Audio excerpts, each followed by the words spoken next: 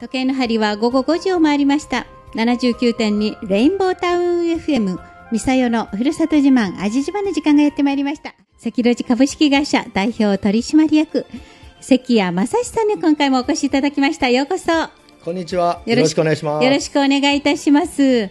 引っ越しの Q&A とかね、はいを今日ちょっとお話をしていただこうかなと思ってるんですが、今年はですね、あの引っ越し難民という言葉が、はいあの流行ったように、はいまあ3月の最終週、はい4月の1週2週と、はいえー先週末まではいかなり忙しくてですね、はい、通常はここで終わるはずだったんですけど、はい、まあその引っ越し難民と言われてまして、引っ越しできない方がまあゴールデンウィークまで今延長中でございますね。ははい。なるほど。引っ越し難民。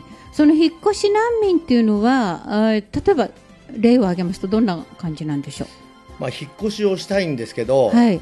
運送引っ越し屋さんに電話してもいっぱいですということでおはい断りされてですね、ええええええまあ、そうなると自分でレンタカーを借りるか、はい。まあ、いろんなところうんうんうんに電話をして、なんとか引っ越しをしたいということでうんやるんですけど、はい。やっぱりどうしても土日に集中しますんで、はい。土日を逃すとまた自分のお仕事であったり、まあ、学校が始まったりするんで、はい。結局は伸び伸びになって、ええええまあ、あのテレビでもやってますけどできない方はホテルに泊まって、はい。週末まで待つとかですね、はい。い、うのが、はまあ、今週、来週、はい。あとゴールデンウィークまではい。伸びてるのが現状ですね。ああ、なるほどね、その引っ越し難民でですね、例えば、その、まあ、あの、法人さんであったりはい。すると、えーそこに引っ越しする予定だったのに、例えば、その引っ越し先の前の人が出てなかったりということもあり得るんですか？それも一つなんですか？そうですね。今年はそれが結構多くてですね、あー。うちも、まあ、倉庫屋さんも兼ねてますんで、はい。まあ、1週間保管とか、ええええ2週間預かるとかはい。いうのが結構ありましたね。そうですか。それは、あの、えー、せ関路寺さんは、えっと、特定法人をややられる、やれてる、あの、引っ越しを請け負ってるんだっていうお話をはい。伺ったことがあるんですけども、まあ、ううんちの場合には本当うん。に少数制でやってますので、はい。はい。まあ、特定法人さんのためえに、えええもうこの法人さんのためにはい。引っ越しをやってますということで、ええええ。それでもやっぱり今回も、ええまあ、200人から300人の方の引っ。越しを受けてやってますけど、まあ、一ええ般の方ですと、はい。まあ、いろいろ変更とか、えええあの見積もりに行くとか、はい打ち合わせをするんで。ちょっとまだ小さい規模なんで、ええええ今後大きくなっていくと、うん一般の方にも開放できるんですけど、はい。今のこの,、うん。あの4月1日の人事異動が非常に多いんで。まあ、当社としてはもう一社限定のための引っ越しという感じでやってますね。なるほどね、はい。あのでその今、人手不足とかおっしゃってましたけども、その引っ越しの難民の中には例えば引っ越しの業者さんの運転手さんだとか人手不足とか人手不足とかいうのは入らないですか、基本的に、ええ。まあ、カレンダーはええ。毎年、え。あの曜日が変わってきますんで、はい。ピークは大体決まってくるんですけど、はいはい。やはり運転手不足、はいえーあと、まあ、うん。年齢の高齢化ということで、はいはい。どうしてももう運転手が確保できないんで、はい。あとはまあ働き方改革ということで、ええええどうしてももう残業が限られてきますんで、ええええその関係でもう1日何件しか受けられませんっていうことになってくると規、制をやっぱりかけなければ、はい。あのもうお客様にまあご迷惑をかけそうですね。てしまうということなんですね。はい。えーあのまあ個人的な引っ越しなんかでもね、はい。もうあの先ほどメールでねいただいたのがですね、あの関路寺さんの一番のね引っ越しのあのモットーとしていることは何ですかとか。はい、のが来てるんですが、とい。うのは、まあ、この方も引っ越しをしたいんだけどもそれこそ引っ越し難民なんですよね、えー見積もりを何所か取っていついつ引っ越しするというふうに決まったんだけども業者さんがの延長してくれとか、はい。言って非常に困ってますというのがやっぱり来てるんですけども、一番大切にしていることは何でしょうかって言ってるんですけど。まあ、品質が一番大事なんですけど、うん。はいはい。まあ、当社の場合は品質というよりも、うん。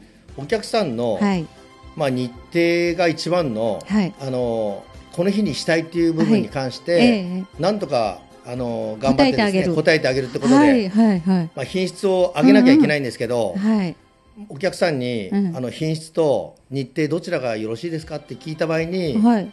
お客さんとしてはまあ、とにかく夜遅くなってもはい。いいからやりたいんだよねっていうその思いがですね、へー。あの通じるんではい。もうあの夜遅くなったり、うん。まあ、朝早かったりっていう部分でうん。なんとか頑張ってます。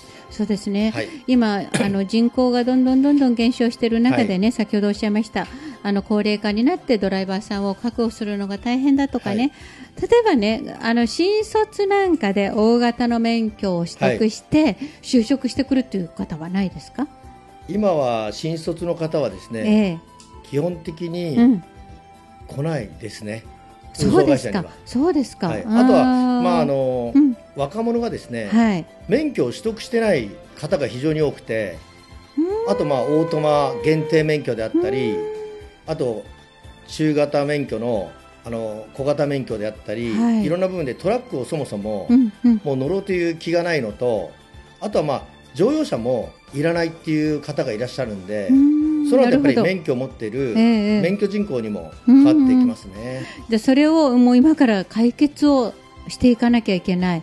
新卒新卒が入ってきてくれると一番いいのかもしれませんね、運転手さんは体力があるから。そこで十日町に行って、ええあの高校卒業する3年生にえ口説いてくる作戦に今あのなるほど。いろいろ練ってる最中ですそうね。なんその十日町の話なんですが、なんかその昨日私の友人が南魚沼市にいましてね、え話を伺ったら十日町はまだ雪がねずいぶん残ってるのよとかおっしゃってましたよ。まあそもそも、うん、十日町はですね、私のところは松台っていうところで、松台はい。松台城のところですね。はい。そこはもう、うん。成人式がうん。もう5月なんですよ。要するに1月はいのはい。成人の日にはええ雪があって帰れないんで、はい。まあ晴れ着も来ますから、えゴールデンウィークに成人式が行われて、うん。みんなで集まるということで。ただその時に毎年ゴールデンウィークにも帰ってるんですけど、はい。雪が全くないっていうのはまずほとんどないですね。